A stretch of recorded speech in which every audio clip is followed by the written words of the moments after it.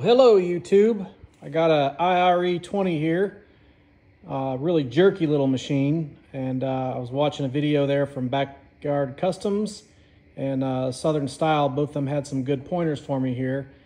Um, this thing is just a, a beast. It's like riding a bull on this thing.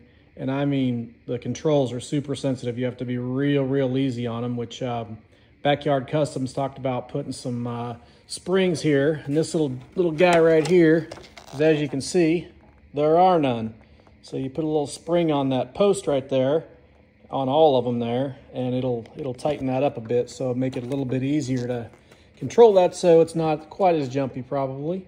Uh, but one of the other things here he talked about was the uh, control module there off those sticks. So on this machine here, it's right down here. So you can see here, I've got the cap off of it. So um, you can trace those lines off of that and it goes right up there to the stick there.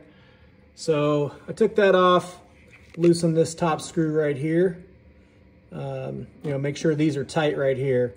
But I loosened this one here up um, and then I had to actually cut an Allen wrench down to size so it would fit in here because this bar right here, this part of this frame here, it blocks it from getting a regular Allen wrench in there. So I just took my little tiny cutoff wheel and cut that off uh, on, on the end here as well because it hits this otherwise it's too long. So I cut that off to there and cut this one off short to get it under there because you got to mess with this and you got to move this hose out of the way. This one here is, sits up here a little higher like that. So anyway, uh, I went ahead and you know, tighten that thing down a little bit, just kind of turn by turn.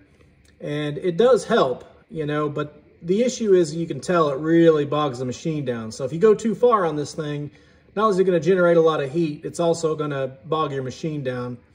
So what I did was I kind of backed it off a bit, you know, because uh, I moved it down probably four turns or so, but I backed it off uh, and then cut the machine on and, uh, you know, I had the, the the module here off, you know, so you can turn off your hydraulics and turn them on. So if it's locked like right now, obviously it's not going to run the hydraulics, but if you hit the unlock here, it does. So anyway, I was adjusting this, so I brought it all the way back out and I adjusted this um, valve here with it uh, on, with the hydraulics on, and you can hear the machine. So it'll tell you, it'll tell you when it's, you know, starting to get where it's bogging down, you know. So I brought it to that point where it bogged down and then I backed it off just a little bit so the machine runs normal sound when you go uh, from your lock to unlock position on your hydraulics. So that actually turned out to work pretty good. I will say it still is a little bit jerky there though. I don't, no, I'm not sure there's much you can do about it. Um, I know there's uh, more parts you can add to it. I can't think of the name of it off top of my head right now.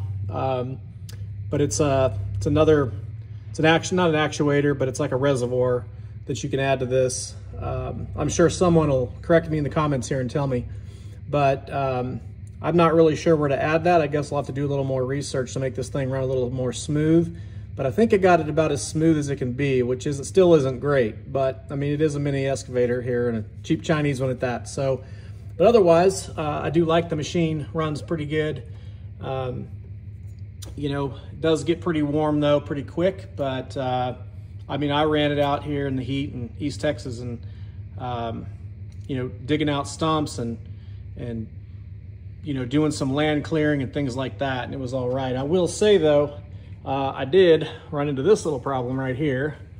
So I'm not really sure how this happened, but uh, this little thumb here got bent out somehow. I'm not sure what I was doing, but something obviously. So apparently this steel's not very hard, but uh, I'm sure I can bend that sucker back and it'll be just fine.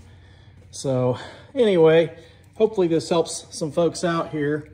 Um, I will mention here too, on uh, Backyard Customs, he talked about that main valve that you can adjust here.